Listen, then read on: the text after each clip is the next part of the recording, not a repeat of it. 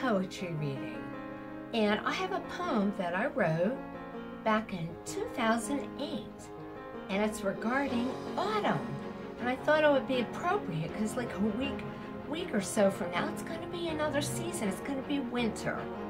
So I'll share that with you in a moment. Then I'm also going to read a little poem, a little small Christmas poem. And then at a later time, I a longer Christmas poem for you.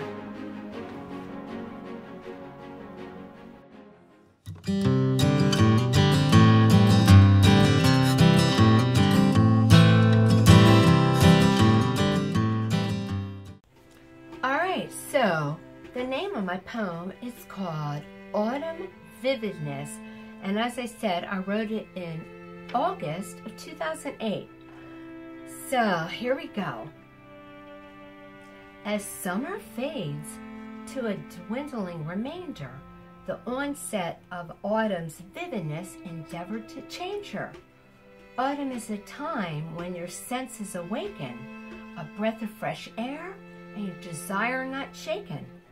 The trees are as fine as they embellish the scenery with orange, red, and golden hues that cover the greenery.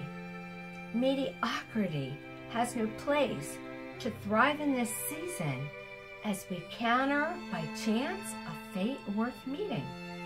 False atmosphere kindles a warm fire and adoration, relishing a time filled with jubilation.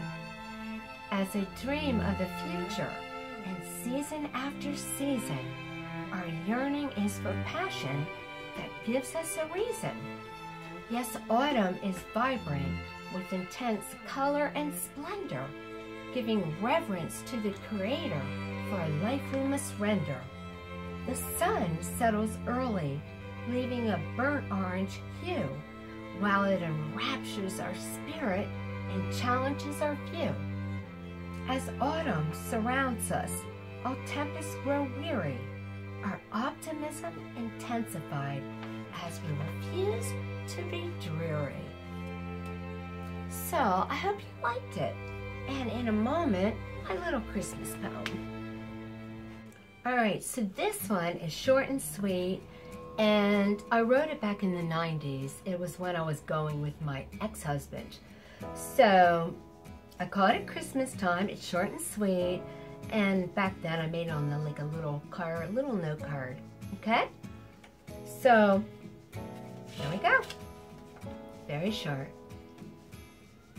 Christmas time is here, the awaited time of year, where love is in the air and merely not a care.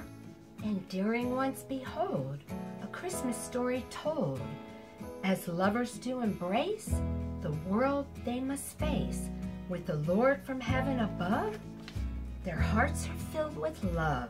Yes, Christmas time is here, the awaited time of year. So, that's it for tonight, and uh, I hope I got you dreaming a bit out of the doldrums, because that's what poetry's supposed to do. And uh, I will have a future longer Christmas poem that I have. And uh, thank you so much for taking the time to watch my video. And until next time, I'll see ya.